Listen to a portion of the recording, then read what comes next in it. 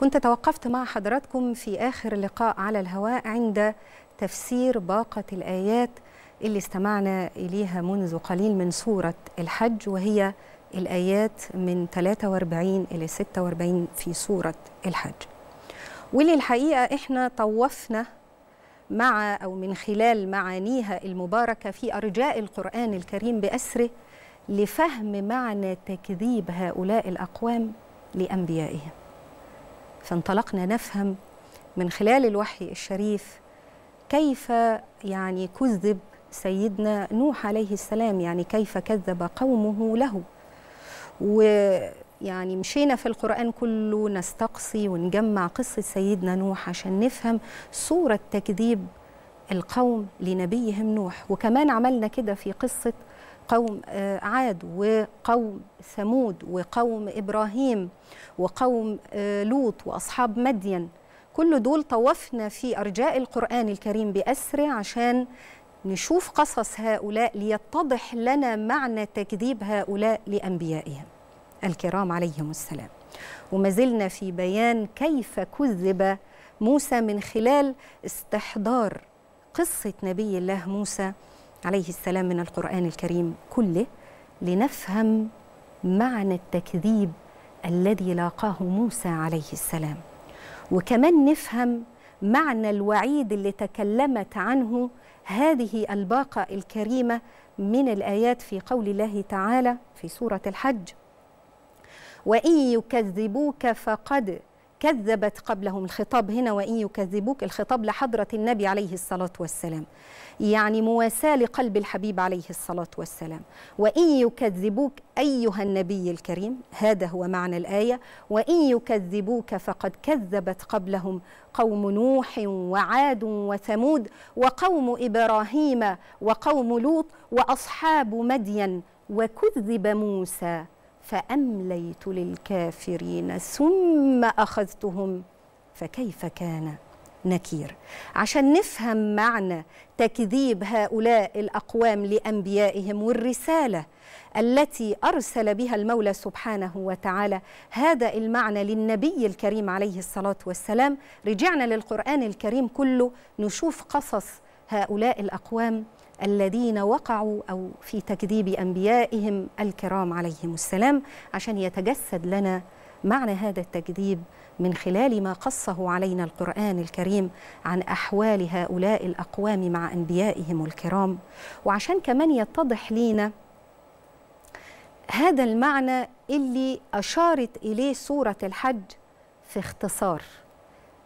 لأن سياق العرض الموضوعي في سورة الحج كان يكفي فيه فقط الإشارة دون الإسهاب يعني إيه؟ يعني في سورة الحج الخطاب للنبي عليه الصلاة والسلام بأنه وإن يكذبوك أيها الرسول الكريم فهناك أو أغلب الأقوام الرسل الكرام الذين أرسلوا إليهم كذب الأقوام أنبياءهم الكرام وكانت الحقيقة إشارة سريعة بذكر تكذيب هؤلاء الأقوام من غير تفصيل يعني من غير ما يقص علينا قصة قوم نوح أو قوم عاد أو قوم ثمود أو قوم لوط أو قوم إبراهيم أو أصحاب مدين أو قصة سيدنا موسى عليه السلام لكن الآية جاءت في إشارة سريعة إلى تكذيب هؤلاء الأقوام لأنبيائهم. لو بصينا كده في سياق سورة الحج باقة الآيات اللي جت قبل السورة بتتكلم عن الإذن للمؤمنين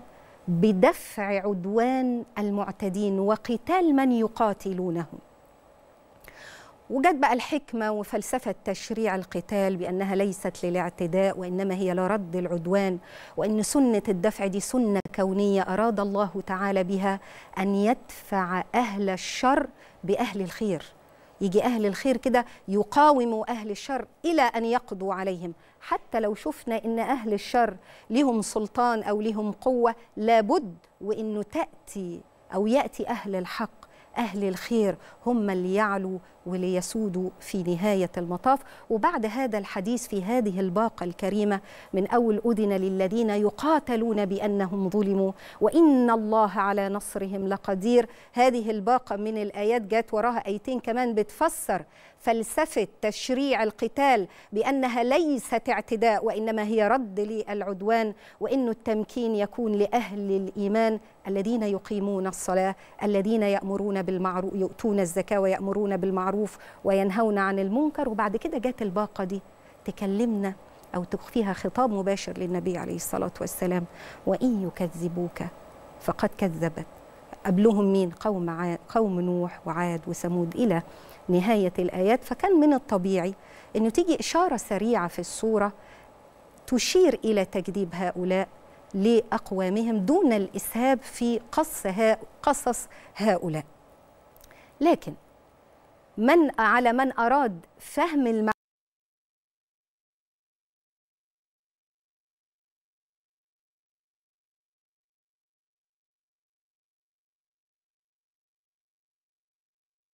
الموضوعات المذكورة باختصار كهذا الموضع اللي إحنا فيه الإشارة السريعة إلى تكذيب هؤلاء الأقوام. فنرجع بقى إلى أماكن تفصيلها في القرآن الكريم أماكن بيانها في القرآن الكريم وده هيكون في مواضع وصور أخرى من القرآن الكريم لفهم المعنى المراد من تكذيب هؤلاء الأقوام لأنبيائهم.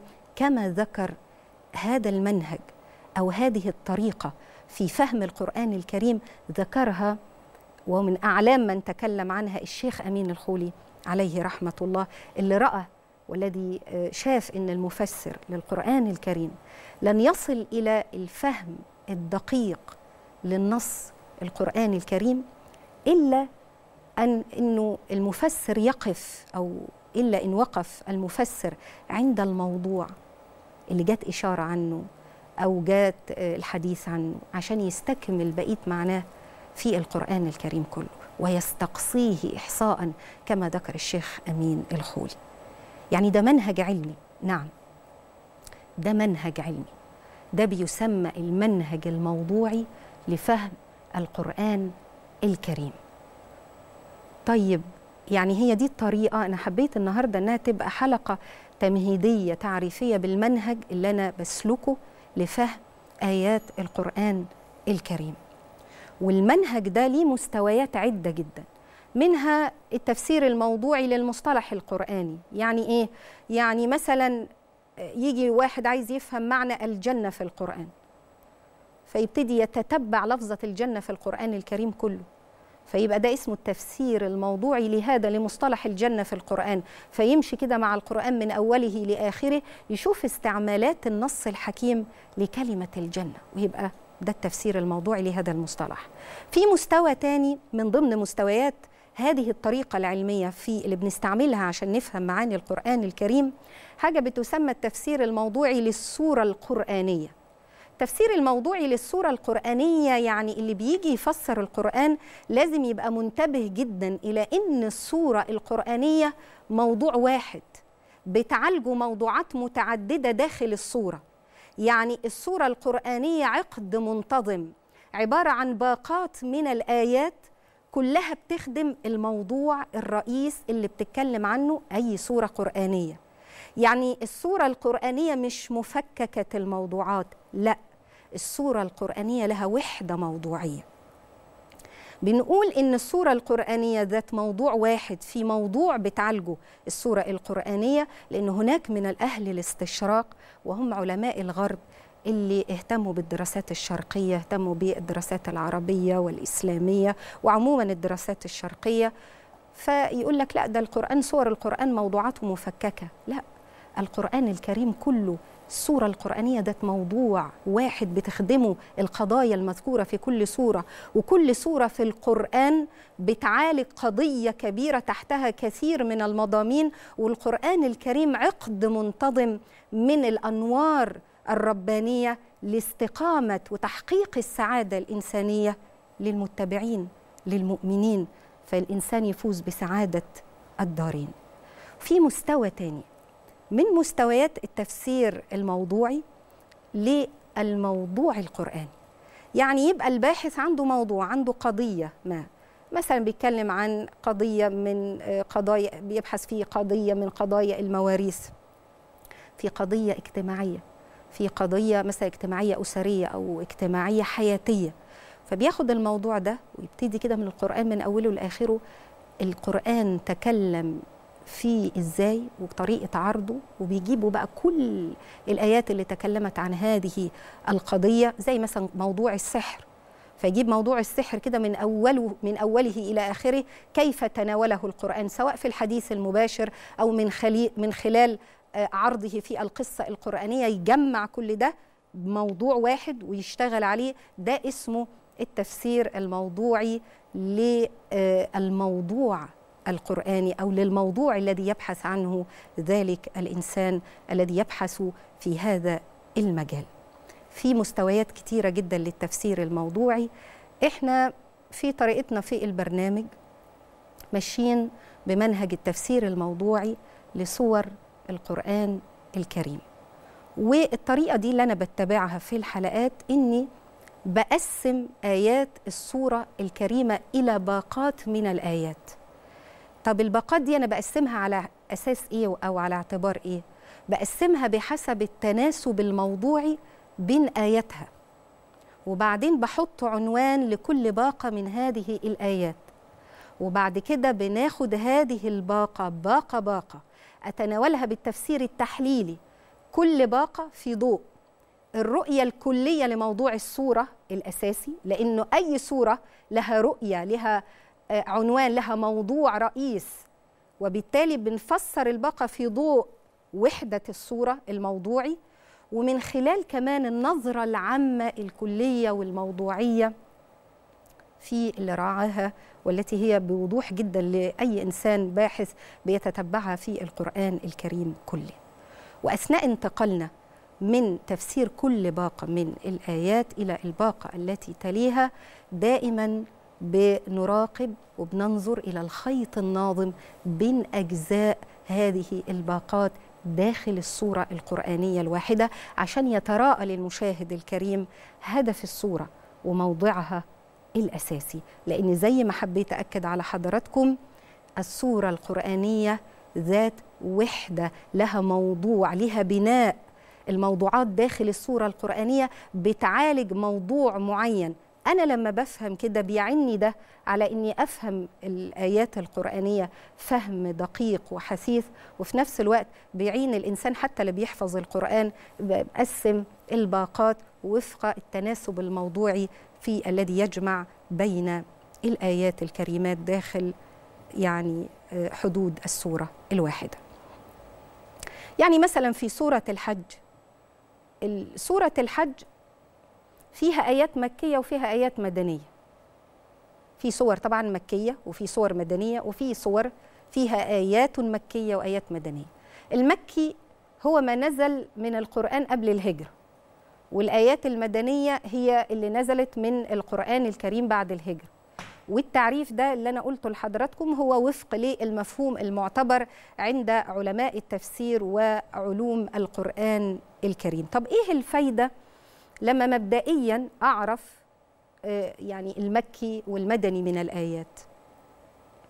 طبعا ليه فايدة كبيرة جدا وعظيمة في فهم موضوع الصورة العام.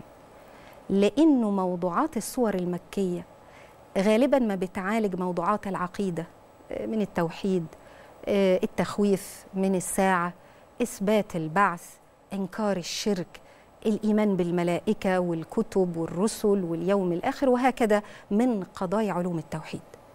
وده بيبقى يعني كان واضح جدا في بداية سورة الحج. الآيات من واحد لاثنين في سورة الحج تحدثت عن أهوال أو عن القيامة وأهوالها والأمر بتقوى الله تعالى. كما في قول الله تعالى يا أيها الناس اتقوا ربكم إن زلزلة الساعة شيء عظيم.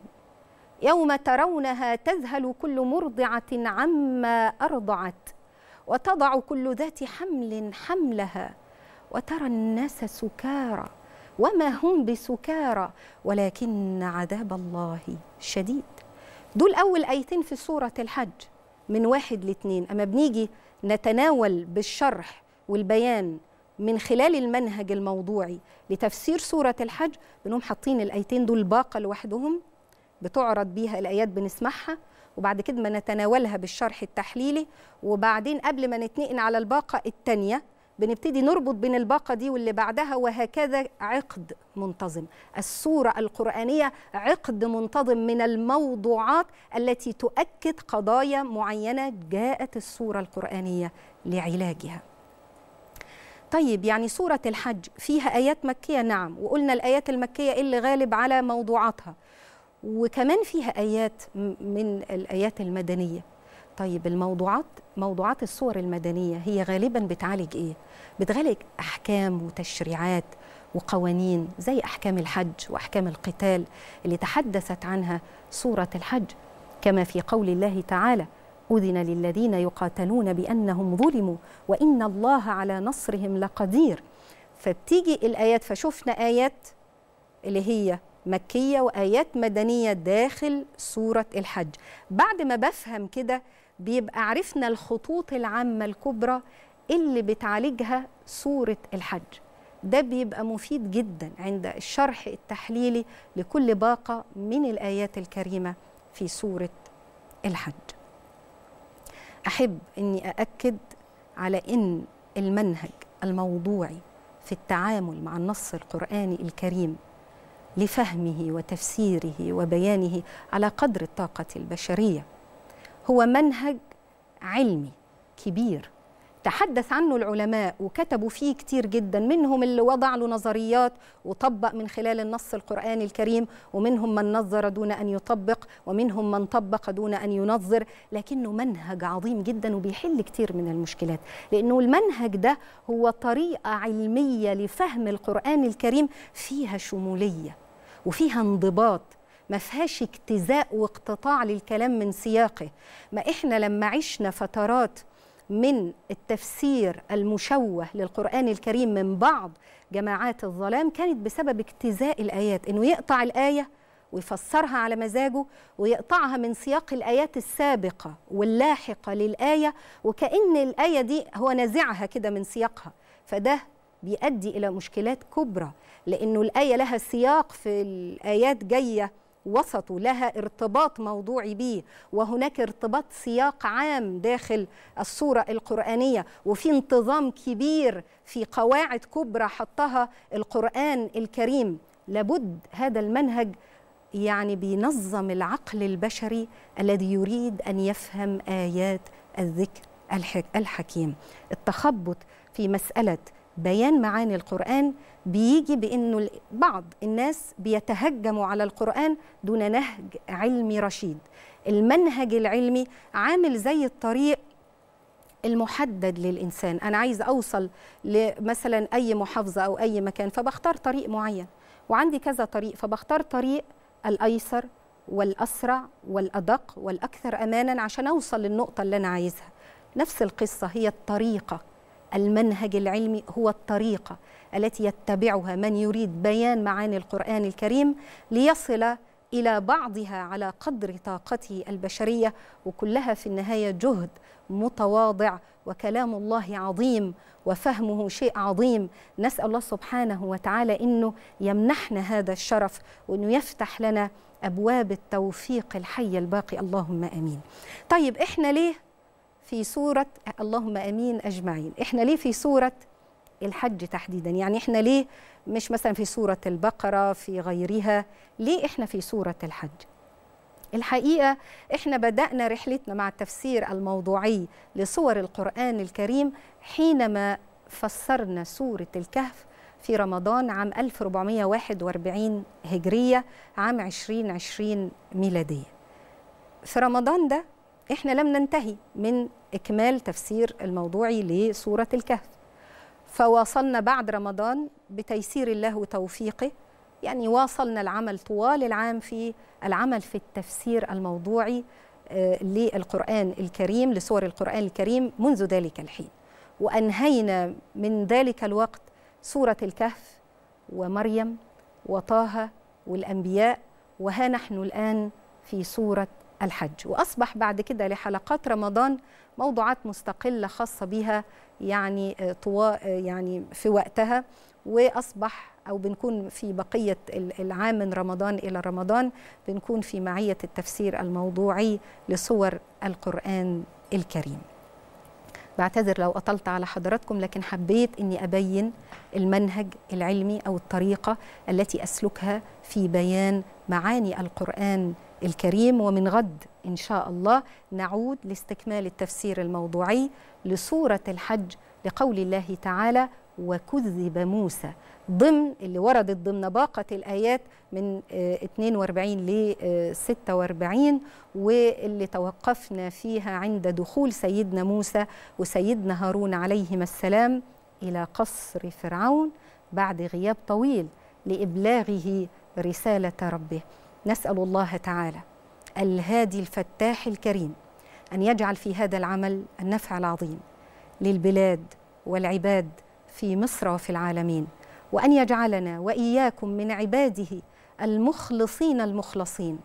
ونعوذ بك يا ربنا من أن نشرك بك شيئا نعلمه ونستغفرك يا مولانا لما لا نعلمه. اللهم آمين أجمعين وألقاكم إن شاء الله بعد هذا الفاصل بإذن الله تعالى.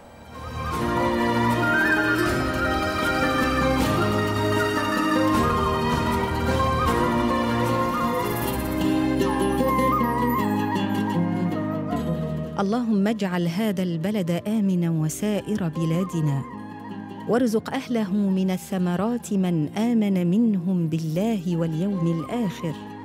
اللهم اجعلنا مسلمين لك واجعل ذريتنا أمة مسلمة لك. إنك أنت التواب الرحيم. اللهم يا حنان يا منان يا بديع السماوات والأرض يا ذا الجلال والإكرام والطول والإنعام والعفو والإحسان والمنن والرضوان من علينا بنعمة الأمن والأمان والهداية والإيمان وأدم علينا نعمة السلامة والسلام والعافية والتيسير والتوفيق على الدوام واحفظنا واحفظنا بحفظك الذي لا يرام. يا خير الحافظين ويا مجيب السائلين. وآخر دعوانا أن الحمد لله رب العالمين. وصل اللهم وسلم على المبعوث رحمة للعالمين. اللهم آمين. آمين.